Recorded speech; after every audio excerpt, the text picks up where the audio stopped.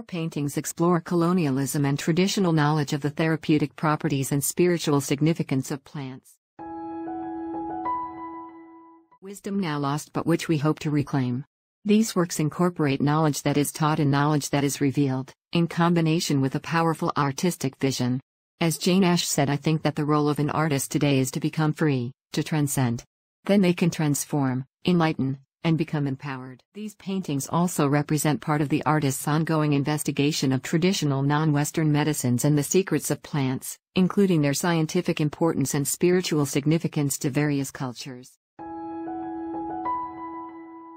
When I looked at your wall and the big wall, like it's uh, being a collage artist and being a printmaker and an oil painter and somebody who has done very, very large paintings across Canada and abroad for major institutions, I thought, oh, this is perfect. This is right up my alley.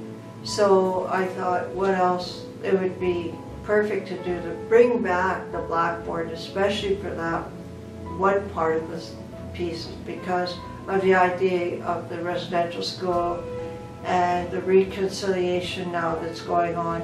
And the thing is that we repatriate and we take back the blackboard. Instead of it becoming something negative, we turn it and transform it and transcend it and turn it into something positive where we talk about our history, our spirituality, and our people.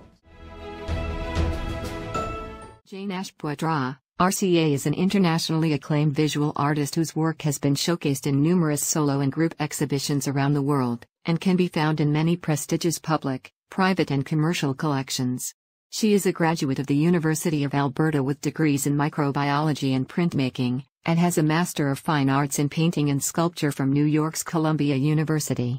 She is a longtime lecturer at the U of A and a much in demand guest lecturer across North America and overseas.